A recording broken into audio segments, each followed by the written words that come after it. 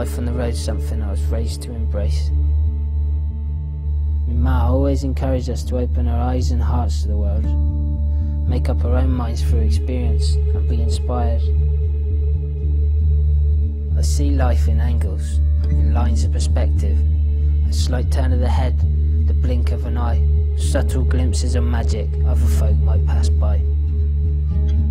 Cameras help me translate, interpret, and understand what I see. It's a simple act that keeps me grinning.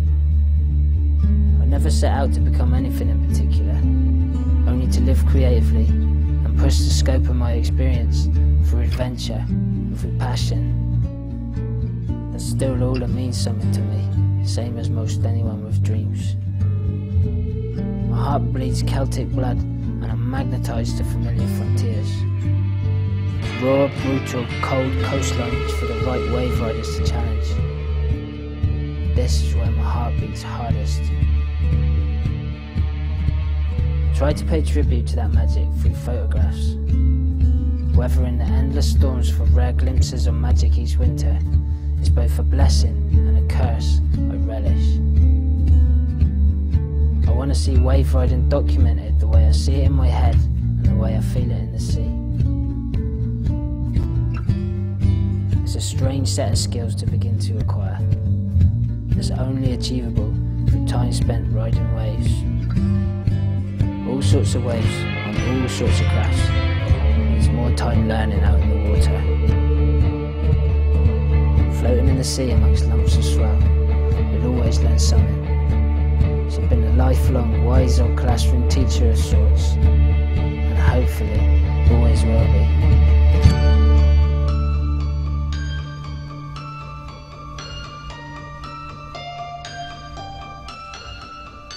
Buried beneath headlands, shaping the coast, mind-blowing images of empty waves burn away at me. Solid ocean swells powering through deep, cold water. Heavy waves, waves with weight. Coax from comfortable routine, ignite the imagination, convey some divine spark, whisper possibilities, conjure the situations I thrive amongst and love to document. We all take knocks in the process. Broken backs, drownings, near drownings, hypothermia, dislocations, fractures, frostbite, head wounds, stitches, concussions, broke my arm and that's just the last couple of years. Still look forward to getting amongst it each winter though. Cold creeping into your core, driving you mad, day after day. Mumbling to yourself while you hold position and wait for the next set to come. The dark side of the lens art form unto itself and us, silent workhorses of the surfing world. There's no sugary cliche. Most folk don't even know who we are, what we do, or how we do it, let alone how to pay us for it. I never want to take this for granted, so I try and keep motivation simple, real, and positive.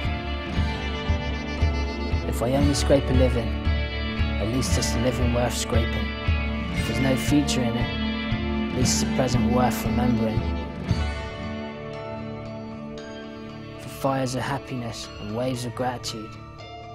For everything that brought us to that point on earth at that moment in time. To do something worth remembering with a photograph or a scar. I feel genuinely lucky to hand on heart say I love doing what I do. And though I may never be a rich man, if I live long enough, I'll certainly have a tale or two for the nephews and I dig the thought of that.